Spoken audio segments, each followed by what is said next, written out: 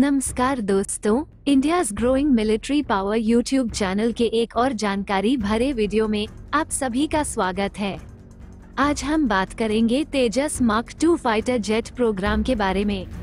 दरअसल एक बहुत बड़ी अपडेट निकल के आई है इस प्रोग्राम से जुड़ी, और वो है इसकी इंजन के बारे में। आप सब जानते हैं कि Tejas mark two fighter jet programme को सरकार की तरफ़ से फंड्स दे दी गई है। और इसके तुरंत बाद ही इस प्रोग्राम में तेज़ी देखी जा रही है। दरअसल खबर ये है कि Tejas mark two fighter jet में एक मॉड्यूलर इंजन बे का इस्तेमाल किया जा रहा है, जिससे इन फ्यूचर इसमें एक ताकतवर इंजन लगाई जा सके और अमेरिकी जनरल इलेक्ट्रिक द्वारा मंगाई जाने वाली F four one four engine को रिप्लेस किया जा सके। अब ये ताकतवर इंजन कौन सा होगा? आप सबके मन में ज़रूर ये सवाल आ रहे होंगे। ये इंजन कोई और इंजन नहीं बल्कि M C fifth generation stealth fighter के लिए बनाई जाने वाली 110 किलोन्यूटन क्लास के इंजन है, जिस इंजन को बनाया ही ऐसे जाएगा कि उसका इस्तेमाल हमारे खुद के बनाए हुए स्वदेशी हर एक फाइटर जेट में किया जा सके, जिससे इन सब फाइटर जेट्स की ताकत और बढ़ जाएँगे। Tejas mark two fighter jet को अभी से भविष्य के अपग्रेड को ध्यान में रखकर विकसित किया जा रहा है, ताकि जब भविष्य में इसको अपग्रेड करने की ज़रूरत पड़े, तब कोई समस्या न पैदा हो पाए। अब भारत जितने फाइटर जेट विकसित कर रहा है, स्वदेशी तौर पर, चाहे वो तेजस मार्क टू हो A M C A mark one हो, या फिर नौसेना के T A D B F यानी कि twin engine deck based fighter हो, सब में अमरीकी F four one four engine का इस्तेमाल किया जाएगा, जिसका मौजूदा थरस्ट अट्ठानवे किलोन्यूटन है।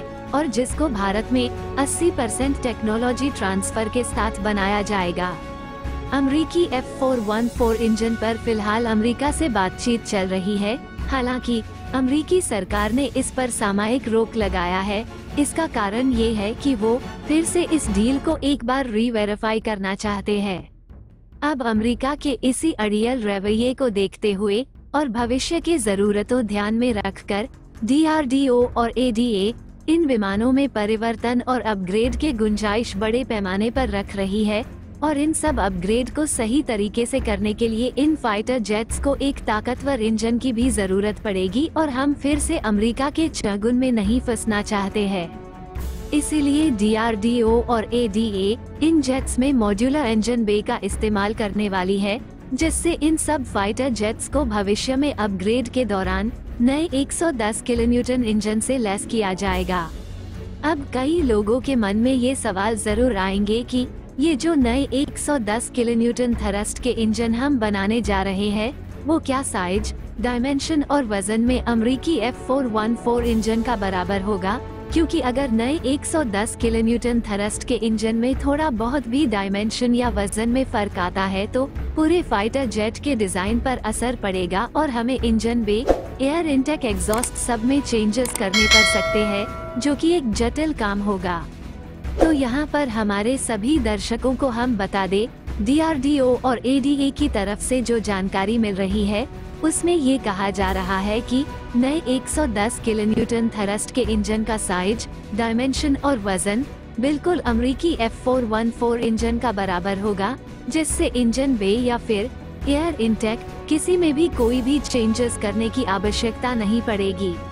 अब अगर टाइमलाइन की बात की जाए तो ये नए 110 किलोन्यूटन थरस्ट के इंजन हमें साल 2035 के बाद शायद इन सब विमानों में, खासकर तेजस मार्क टू में देखने को मिल सकता है।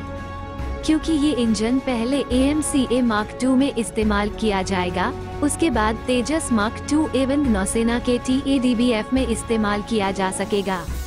इस नए 110 किलोन्यूटन थरस्ट के इंजन के लिए ब्रिटिश कंपनी रोल्स रॉयस या फिर फ्रेंच कंपनी सैफरन के साथ मिलकर बनाया जाएगा।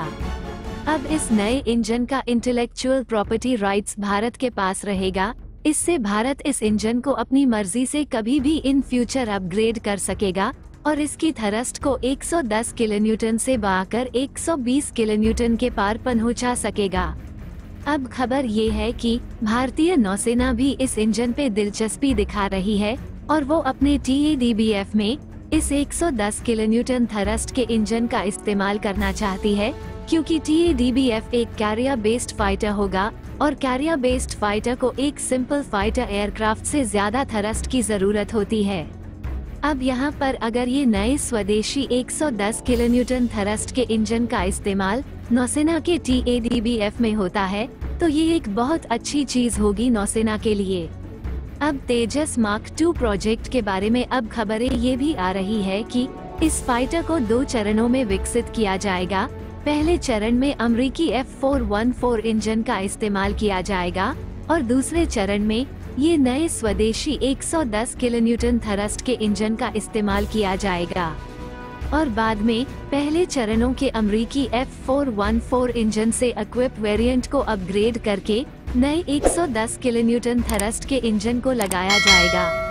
अब समय ही बताएगा कि, इन सब फाइटर जेट प्रोग्राम्स और हमारे इस नए जेट इंजन प्रोग्राम कैसा चलता है, और ये दोनों आपस में तालमेल रख पाते हैं या नहीं। आज के लिए बस इतना ही। उम्मीद करते हैं कि आपको वीडियो पसंद आया होगा। वीडियो को अंत तक देखने के लिए धन्यवाद। देखते रहिए इंडिया ग्रोइंग मिलिट्री पावर। जय हिंद।